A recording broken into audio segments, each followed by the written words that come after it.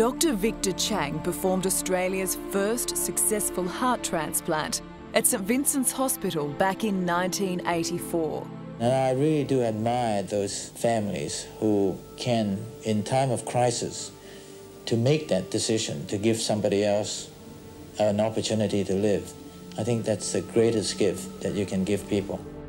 That same year, then 14 year old Fiona Coote, who's now 46, became the youngest ever heart recipient. It's no great big deal, really. It's like it doesn't hurt or anything like that. And Dr. Chang's most famous patient. Life is not permanent for them, nor is it permanent for you and I. But at the height of his career, on the 4th of July 1991, the surgeon was inexplicably gunned down on a Mosman Street in Sydney's north in an extortion bid that went horribly wrong.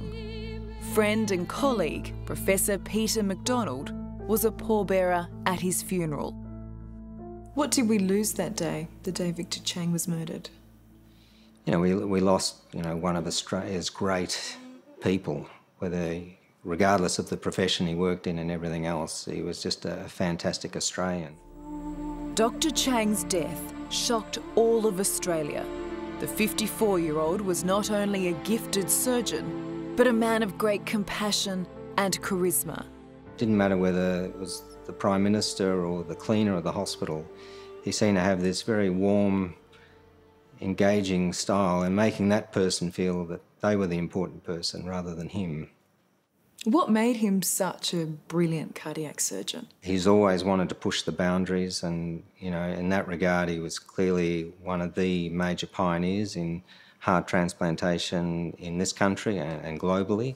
Even today, Dr. Chang is saving lives thanks to the brilliant work being done at the research centre established in his memory. 13 major research groups. The Victor um, so Chang Cardiac Research Institute.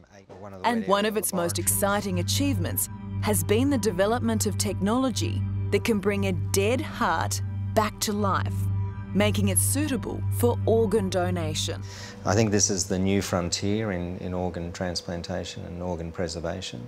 This world first technology has vastly increased the number of hearts for transplantation. So, this little machine here will save potentially hundreds of lives. Well, I'd like to think thousands of lives. In one way, you're here because of Victor Chang. Exactly. I can't thank him enough. Tony Daniel is a fit and healthy 59 year old but 18 months ago, his life was hanging in the balance. He had end stage heart failure and was given just weeks to live. Did you think you would die before you got a new heart? Yep, I, um, I didn't think I'd live till Christmas or my son's wedding, which was happening in uh, November. So I thought if my heart doesn't come soon, that'll be it, yeah. That's when he got the call from St Vincent's Hospital.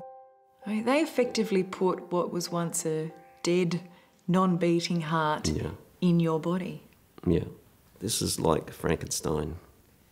I get a dead heart, pretty much a couple of shocks, and bang, it goes off. And uh, that's how I think it's a miracle that it happened.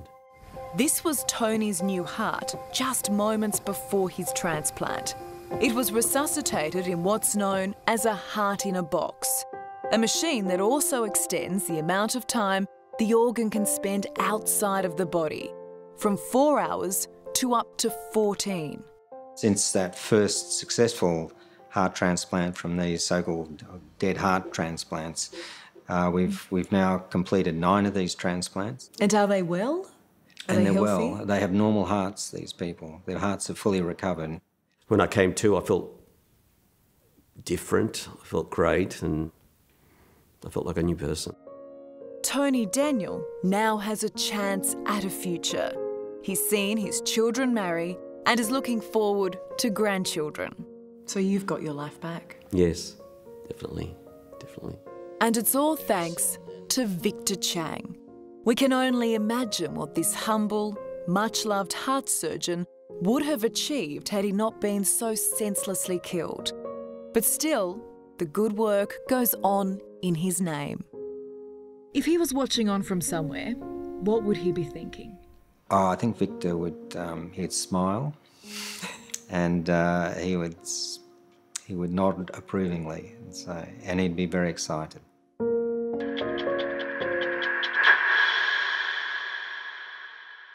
Hello, I'm Allison Langdon. Thanks for watching. To keep up with the latest from 60 Minutes Australia, make sure you subscribe to our channel. You can also download the 9Now app for full episodes and other exclusive 60 Minutes content.